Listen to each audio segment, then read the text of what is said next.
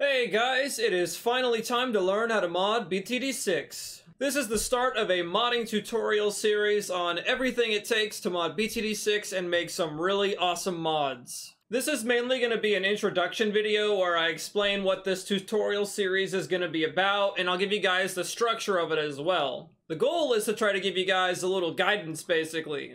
So for starters, what can we do with BTD6 modding?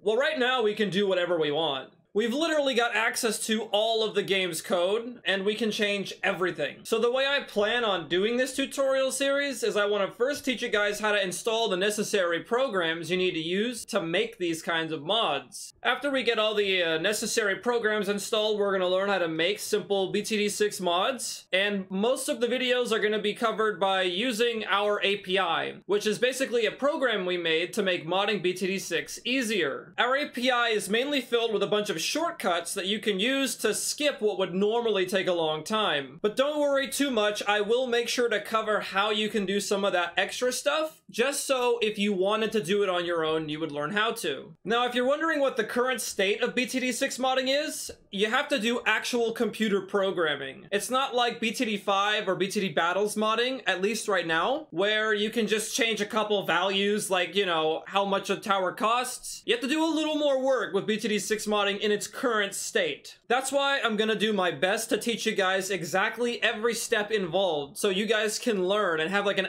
understanding, a deep understanding of what you need to do and how you can do it so you can make high quality mods for BTD6. So like I said, this is in computer programming. So the programming language that you're going to be using to make these mods is called C Sharp. I will be covering the basics of C Sharp in a getting started video, and I'll try to explain things throughout the tutorials. But for the most part, I'm gonna breeze through that because I don't want to waste everybody's time on some of those basics. So if you have any trouble after that extra information, you guys should watch a C Sharp tutorial series. I'll make sure to include one in the description so you guys have something to look at. We do plan on adding support for jet modding in the future, so when that happens, I'll make sure to add a comment to this video and I'll pin it to the top of the comments section.